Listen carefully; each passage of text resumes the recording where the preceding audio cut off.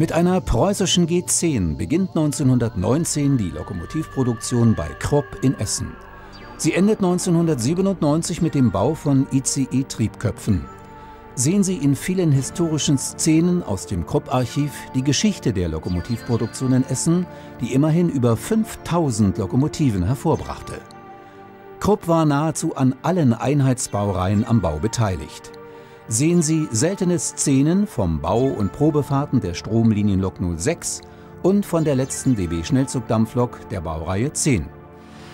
Krupp war auch maßgeblich für den mechanischen Teil der DB-Einheits-E-Lok-Familie, für die ersten Mehrsystem-E-Loks und für den Bau vieler 103er zuständig.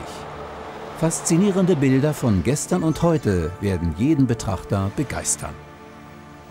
Viele Szenen vom Diesellokbau und von den ersten ICE-Triebköpfen runden den Film über die legendäre Lokschmiede ab.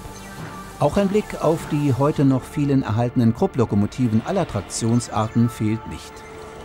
In Zusammenarbeit mit dem historischen Krupp-Archiv sind 58 Minuten im Zeichen der drei Radreifen entstanden.